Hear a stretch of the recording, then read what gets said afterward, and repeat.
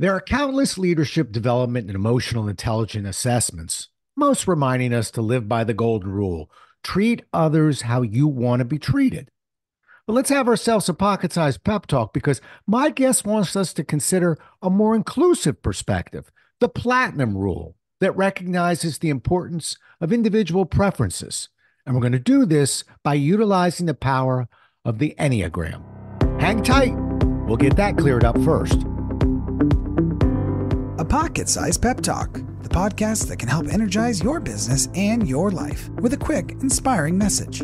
Now, here's your host, Rob Jolles. Today's guest, Karl Hebenstreit, is an executive coach, leadership, team, organizational development consultant, and international speaker with 25 plus years of experience coaching leaders and their teams to work better together and consistently exceed their organization's goals. He holds a PhD in organizational psychology and is the author of two books The How and Why Taking Care of Business with the Enneagram and Nina and the Really, Really Tough Decision. Happy to have you with us and welcome to the show, Karl.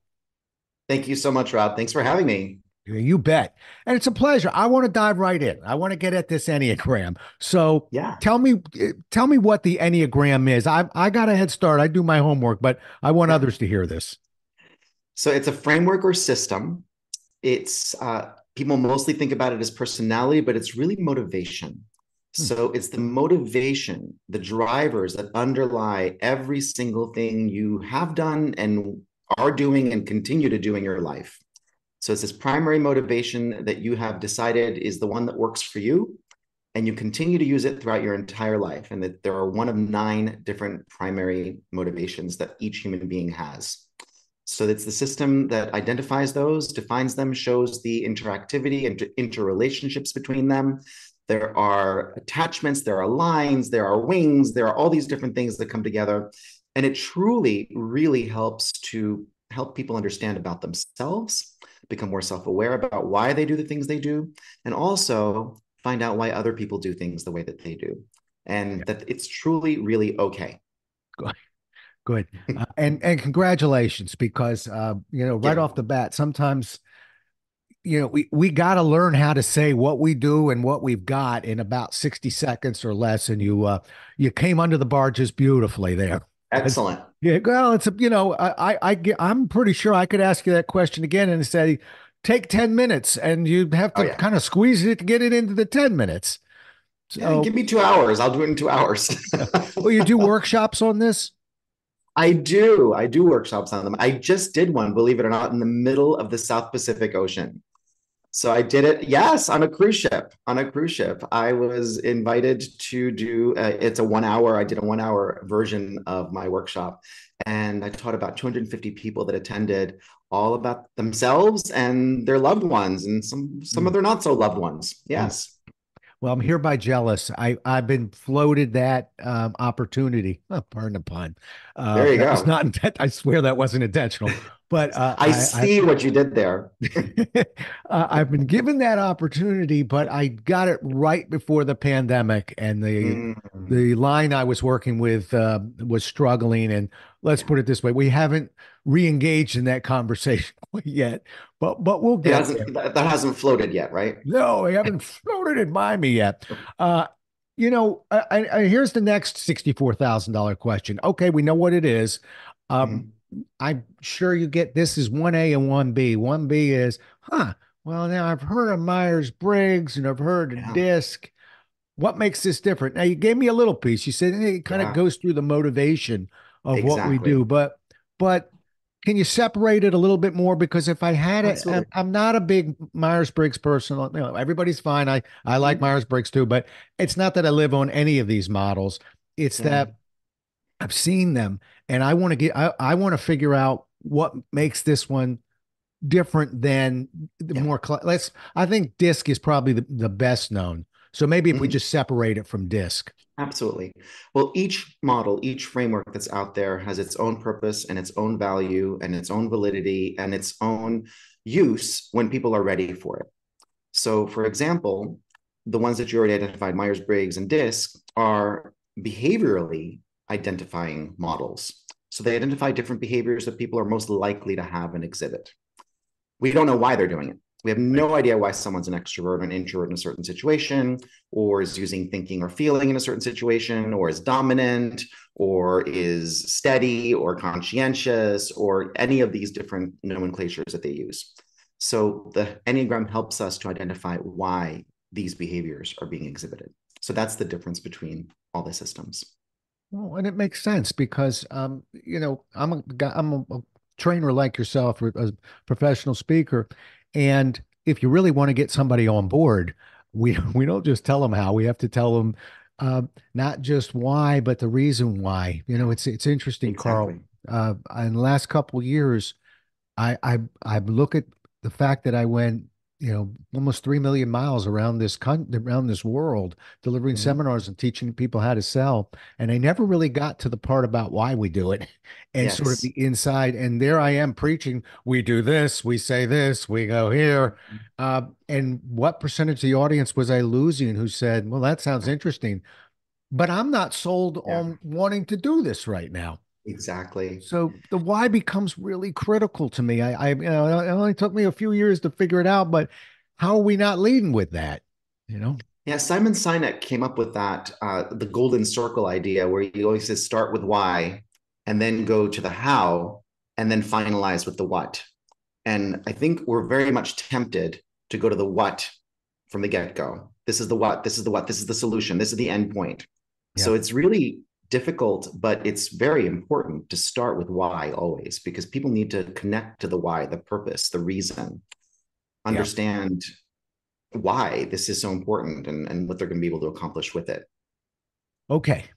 Uh, I'm, I'm becoming a fan now.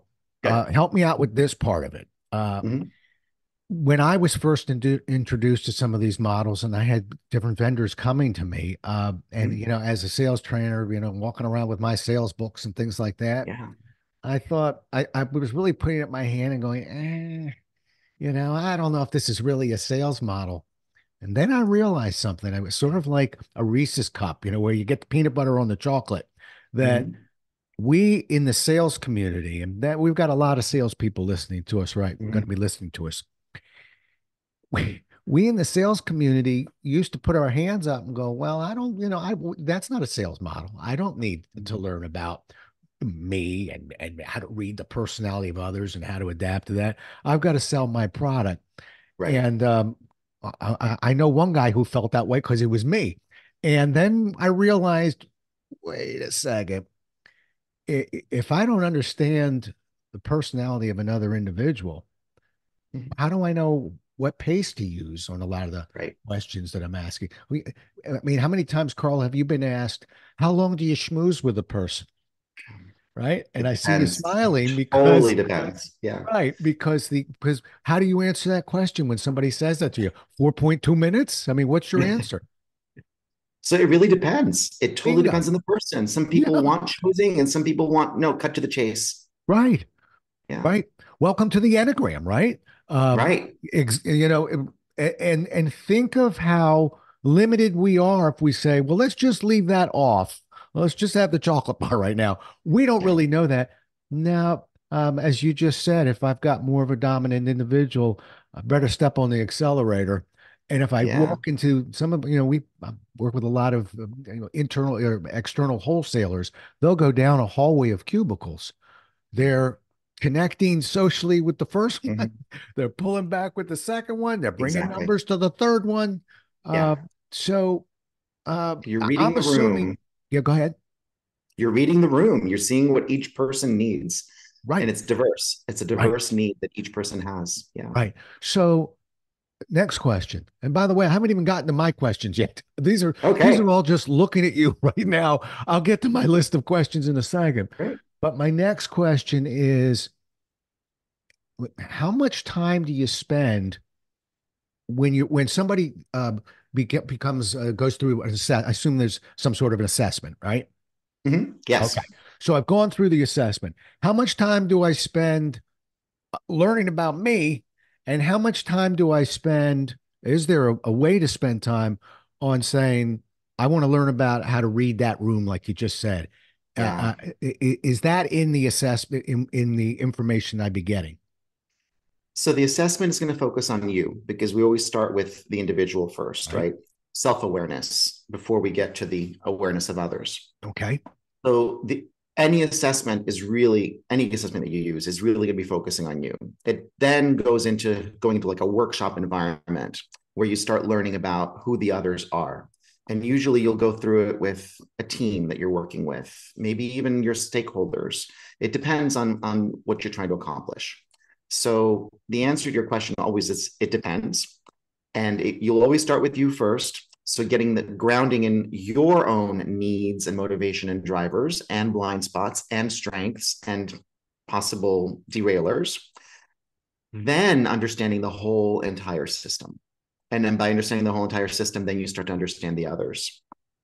But ultimately, they have to tell you where they fit. So you might understand the whole system, understand that there are nine different perspectives, motivations, t- energies, but you can't predict or identify what somebody else is without them telling you or without you having a really good relationships with them to find out where their what their values are, what their true drivers are. Got it. And uh, you know, we interrupt this program to remind people, as you've just heard, that because I know, I know the people that I work with, mm-hmm. they are chameleons. They want to immediately focus on the other individual and mm-hmm. change colors and adapt to that speed. Yes. But you've just given us a very good reminder that that's coming, folks. But there's tremendous value on figuring yourself out first. Exactly. Yeah. Yeah. Good. Good, good, good. Okay. Uh, and I think where some of the other programs went wrong, if you don't mind an amateur stepping in. And I, I love when people go, no, Rob, but, but let me help you with it. so don't worry. So you're allowed to say, what? But I think where some of these other programs went wrong that I saw was uh, there was so much focus on ourselves mm-hmm. that from the sales community, I used to hear them mutter, well, as long as I sell me for the rest of my life, I'm really mm-hmm. in good shape. So, but uh, maybe we can't really turn our attention to others until we really understand who we are. Exactly. Exactly. Okay. Makes sense. And Makes what sense. our own needs are, what our own drivers are. Absolutely. All right. All right. So then let's stay, let's stay here a little bit. Uh, you're talking about motivation and, you know, um, what what mo- you know how people are motivated. Talk to that a little bit karl. Tell me in your words you know you're you're the king of the enneagram here. Um i did not come up with this name by the way. New title yeah, Rob. yeah. Uh, in your words uh, what motivates people? I'm curious about yeah. that. So it was very funny. So today was the launch date for the. This is by no means any any advertisement or anything like that, but today was the launch date for the Samsung S24, and I tuned into it, and I'm like, I wonder what they're going to do here. They're they're obviously doing a sales job. They want to get people sold on this thing. So how are they going to? I mean, they don't know these millions of billions people are watching this this program. They don't know who each person's motivation. So how they're going to address this?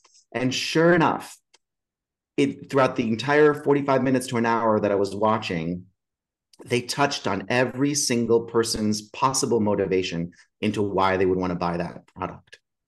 And it was fascinating because they didn't dwell on it. It was just like a little hint here, a little glimmer there.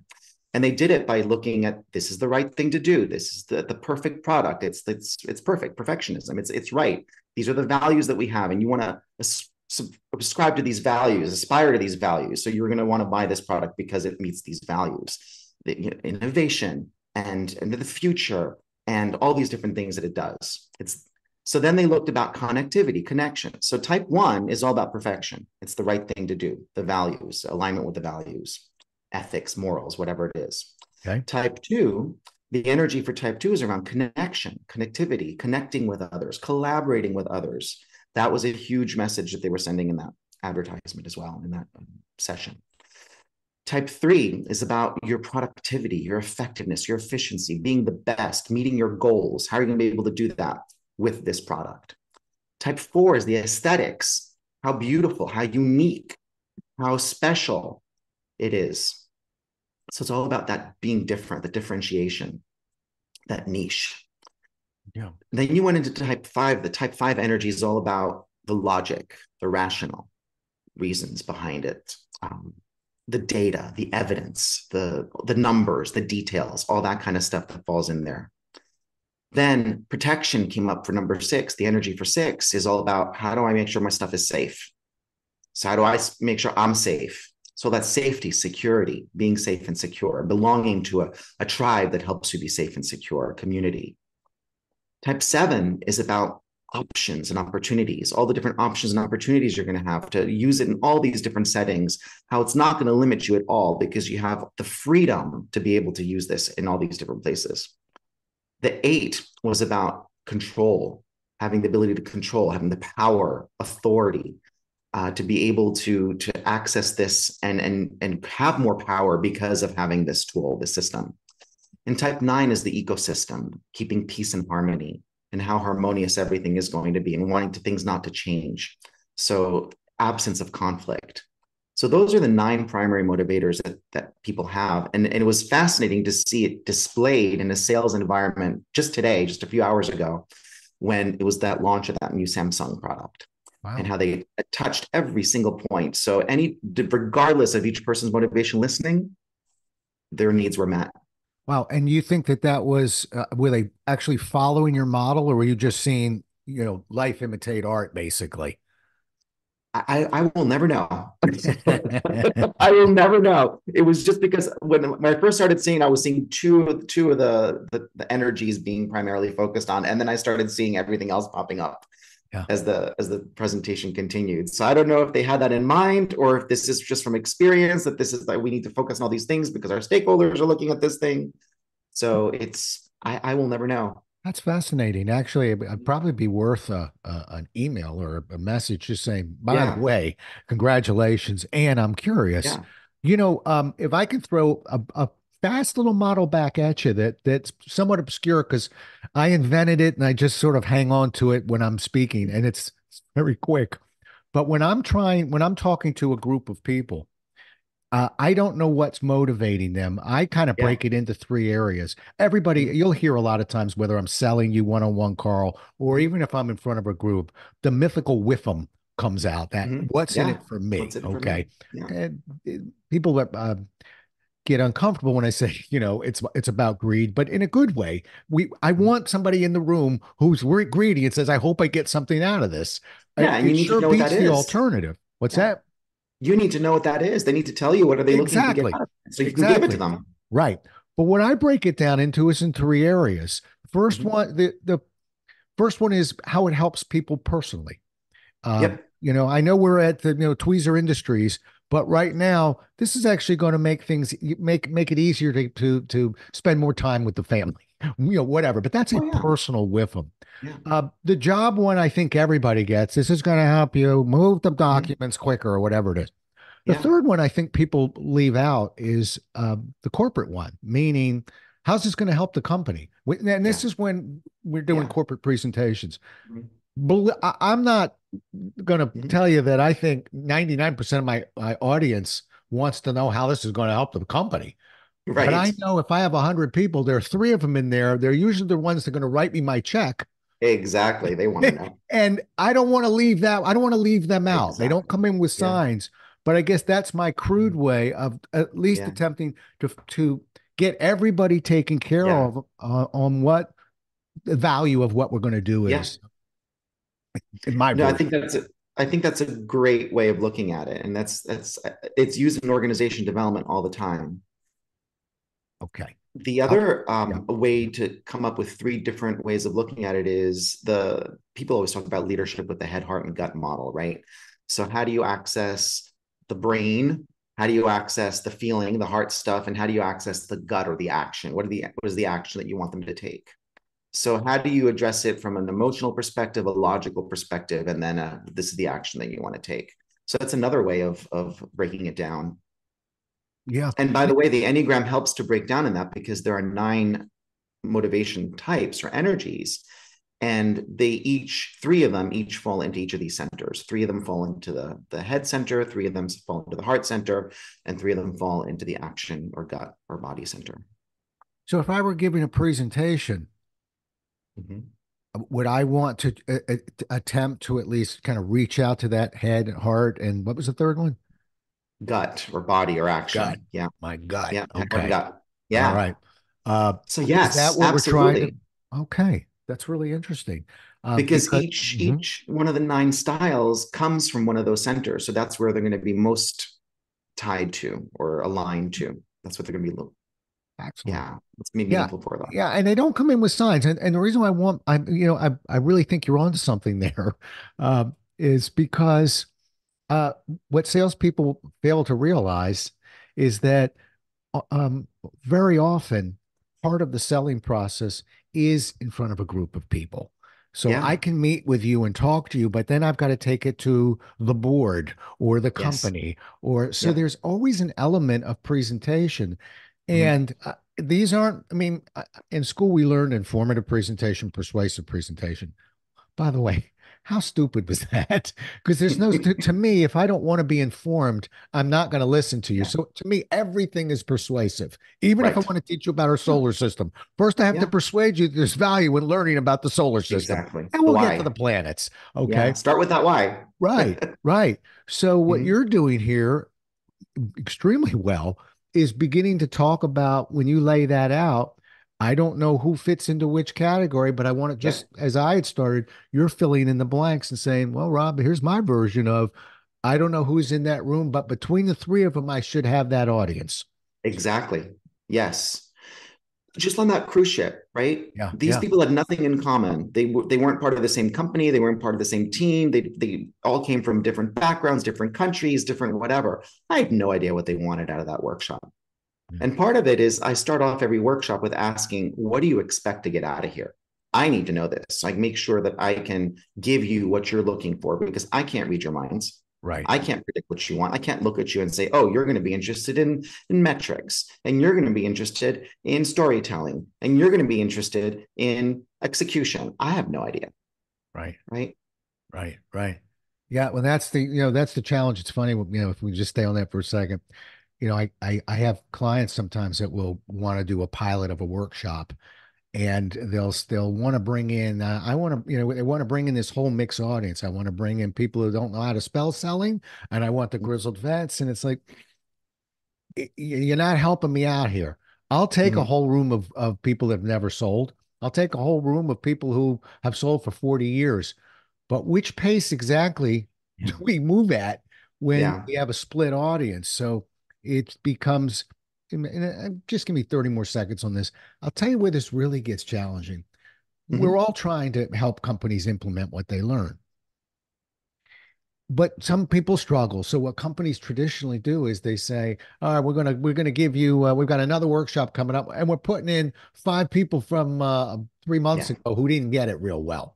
Mm-hmm. uh, almost like a rem- remedial punishment. Yeah. And uh, now you got an instructor going, well, okay, uh, mm-hmm. I can I can give you different stories and tell it differently, but which audience do you want me to speak to?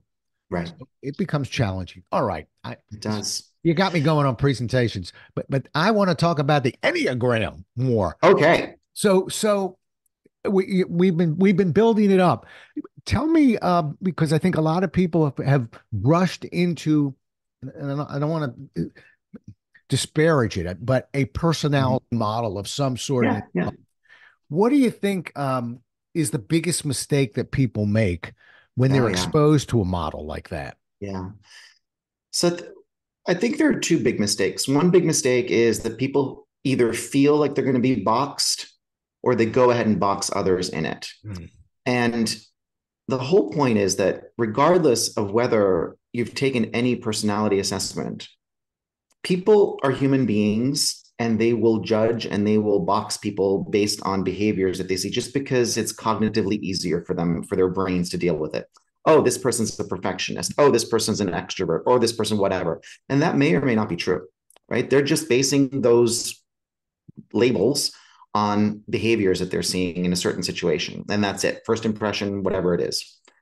So that's the biggest issue. The biggest issue is, is people fearing that now this box, this label is going to be with them for their life. But the reality is it's already there. So it's great to know what that label is. And it's also great to know how to get rid of that label. Because once you realize people have labeled you this because of what you're doing and how you're doing it and why you're doing it, then they can turn around and say, guess what? I don't have to behave or think or be this way in every single situation because every single situation doesn't call for that solution. Each situation is different and may call for one of the eight other solutions, the eight other perspectives. And I'm going to throw people a curveball and not behave like they think I'm going to behave because I'm going to think about it differently. I'm going to approach it differently. So that label or that box is no longer going to be valid. I'm going to break out of that box. So it's really breaking out of a box, not putting people in a box. Oh. And the second part was, of course, people just labeling people, just guessing what people are, right? That's and we don't do that. We should not do that because we don't know them until we, until we do. When you when you do an assessment, do you do one? Uh, does it matter if I approach it uh, as how I behave at home versus how I behave at uh, on the job? So ultimately,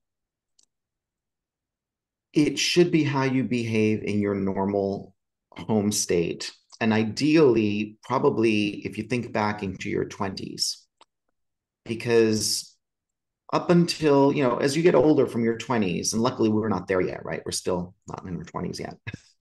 That's what we love about a podcast. so people's drivers are ingrained in them in their early childhood. And then the world takes over, right? Then things like there's overlays of this is what the culture demands, this is what my company demands, this is what my teacher demands, this is what my parents demand, this is my whatever. So all these overlays then come into play, which affect your true the the, the expression of your true motivation and your drivers. So if you can think back to what your purest motivation was at an earlier age, and strip out those overlays of culture and, and familial need and, and demand and, and all these other demands that are imposed on you. That's your true driver. Right. All right. Makes sense. The, the book is The How and Why Taking Care of Business with the Enneagram. Uh, okay. And, and we can find that book on Amazon and it is, yeah. Oh, good. It's on Amazon, and I think it's it's also available through bookstores too, but because they get them through a distributor. Yep. Good. Good. When did the book come out? So the first version came out in 2016. First Okay. edition came out in 2016, and the most recent third edition just came out last year. So 2023, after the pandemic, after new insights, after new applications. So there's much more in the new version, the new edition.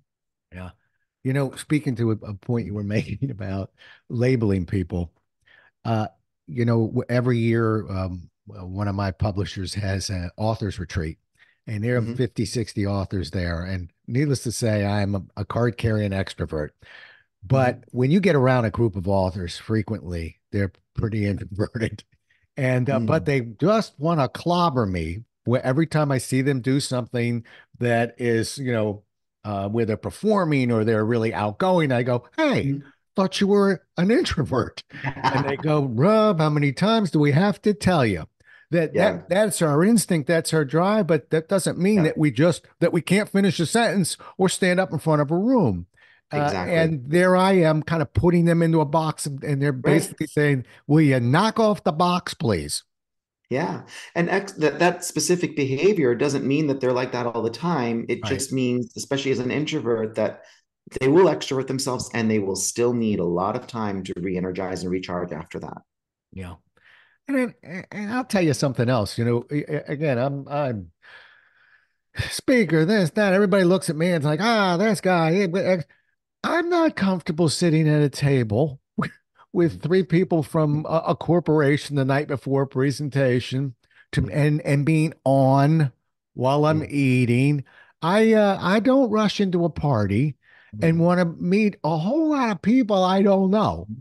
Um, I'll bring, I'll, you know, you know, I'm a sales guy. I don't mind trying to kind of bring them to me, but that's not my instinct either.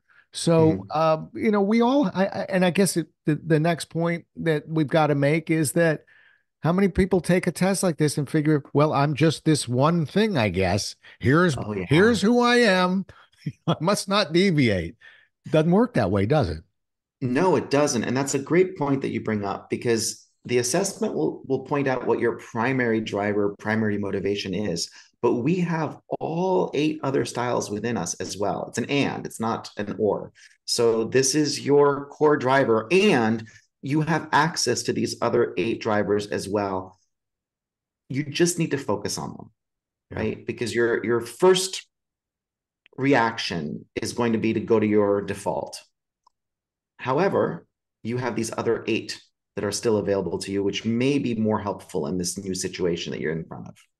Yeah, makes sense. Yeah. Uh, it's I, I'm I'm really glad, and I've never had. We, I think on my 315th podcast right now. I've actually never had anybody on to talk about uh, these particular models. And uh, thank you. And, um, and thank you because you're saying everything I really kind of wanted to hear. And the first, you know, back in the 90s, when I was beginning to get to look at these things, it was you are a, you know, fill in the blank. That's it. You know, can I eh, always?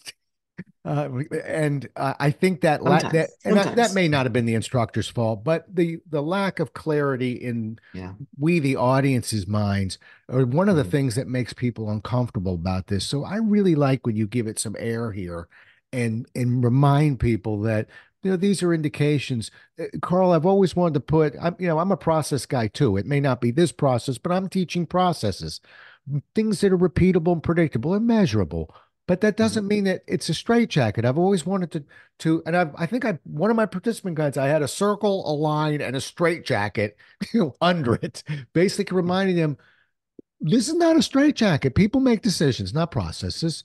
But we're how would you like an indicator? How would you like, you know, a head start? And mm-hmm. I, you know, yeah. that's from my yeah. processes, that's what I'm trying to do. But I don't want them to feel like I'm putting them in a box of any kind. I'm just giving them a no limitation. No limitations like that. Good. Yeah. Good. Good. I'll get back to something that you said earlier about the. Okay. you spoke about the golden rule and the platinum rule, and I yeah. think that that's that comes in really handy here because the golden rule is really what's been teaching us to put people in boxes because the golden rule says treat others the way that you want to be treated so therefore you have your box and you're putting people okay this is everyone's going to be in my box everyone's going to be treated the same way i want to be treated and i think that what we've discovered is that people are different and people want to be treated differently they have different likes dislikes different values different ethics different politics different religions different ideologies whatever it is that are not the same as ours and they obviously don't want to be treated the same way that we want to be treated because they have these different perspectives. So that's where the platinum rule comes in to treat others the way that they want to be treated. And I think that the next step is an, another layer of platinum, which is rhodium, which is not only treat others the way that they want to be treated, but learn from how they want to be treated. Why do they want to be treated that way? And how is that also part of you? Because it is part of you, you're just not paying attention to it. And can you integrate that into there? and act upon that and use it the next time and because that gives you more more eh, robustness in in ability to understand different situations and a, an ability to be effective in different situations absolutely perfectly said and i would bottle that up and say that at every program you deliver if you're not already delivering saying it I, I mean it that is so well articulated and said and um, I was just sitting here going, that is that is perfect. That's what people need. That mm-hmm. clears things up to me. Um, I want people to to to go get that book. And when you get the book, my audience knows this, but I'm like a broken record because you're dealing with another author here. Uh, mm-hmm. Get the book, read the book, write a review, do something nice for for another person. Uh, it's it's really we authors we you know we we'll ask nicely, but it means a great deal. Changes the algorithms. We want reviews. It really does. So get that book, read the book, and and put and one other thing up. But don't worry, Karl, I got it. one other thing, we don't. Karl doesn't need four paragraphs. Put in mm-hmm. two sentences, three sentences, yeah. and say something from the gut. And um, and I and believe me, you'll be making an author very happy. So uh, very uh, happy. Keep an eye. I love that. seeing what the takeaways were from different, and different people will have different takeaways, which I love. I love to see what different people have taken from it. Good. Yeah. I got one more question for you, but hold tight, folks, because something tells me Karl likes to hear from you too. So we're going to get Karl's contact information out in just a second. Just give me two lessons I, I, I like finishing up with kind of more of uh, uh, an overhead view here. Two lessons you've learned somewhere in your journey that had the biggest impact on your career. So the biggest impact on my career was in my early 20s, early to mid 20s, I guess, when I had to deliver a presentation. It was actually a sales presentation, even though it was was not packaged as such. And I failed miserably. Luckily, I had two back-to-back audiences. And I failed miserably because people came in expecting something totally different. I didn't give them that, and I was devastated. And luckily, I was able to turn that around and figure out that's when I realized that people want different things and started asking, What are you looking for from this presentation? Let me gear this and change this to, to meet your needs because it's obviously not what I think you want. So that was the biggest, biggest lesson and takeaway. And the other lesson that I've learned is to just go for it. Just go for it. If you have an idea, if you have a dream, if you have a plan, yes, the timing is going to be, you know, figure the right timing out. But don't be afraid to go for it and just take that leap. Uh, the universe and your network are going to be sure that you're going to be successful in it.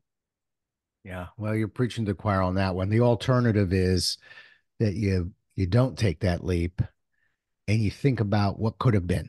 Uh, for those of us who have taken our leaps, Karl, you look like an entrepreneur to me. You sound like an entrepreneur. You're talking to an entrepreneur.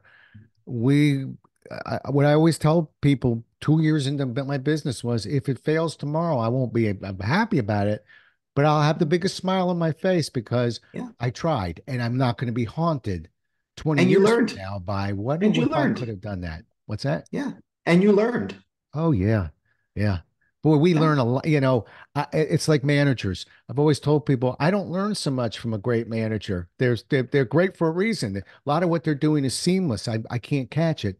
But boy, mm-hmm. you can feel what it feels like to when you have a manager who's not very kind or considerate yeah. or has some issues that are get in the way here and they're tremendous lessons because you'll never forget them you know what it feels like and that's what yeah. we're talking about right now karl when you Empathy. are doing something like this if you succeed wonderful and if you don't i'll give you the same hug and you'll have lessons that'll be very clear and it will serve you for the rest of your life.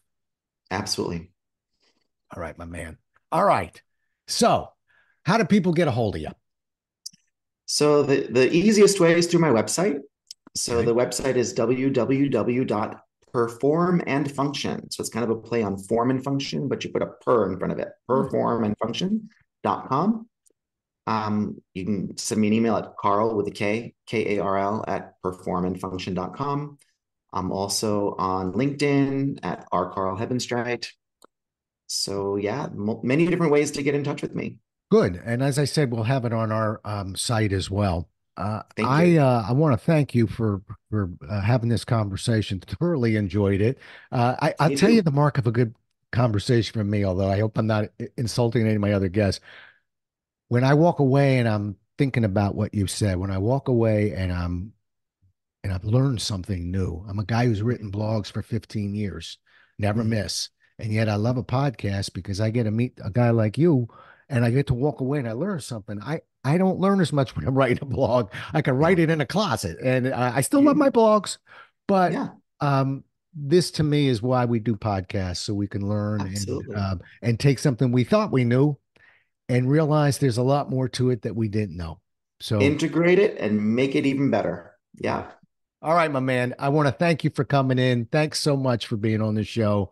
Um, thank you, Rob. Really grateful for all, for what you taught us, and uh, just want you to know that I appreciate you. Thank you. I appreciate you as well, and I look forward to seeing your insights on the Enneagram in a future blog and blog. All right, it's a deal. Okay, yes. folks, we'll do it again as well as we can next time. Until then, stay safe. Thanks so much for listening. If you enjoyed today's show, please rate and recommend it on iTunes, Overcast, or wherever you get your podcasts. You can also get more information on this show and Rob at jolles.com.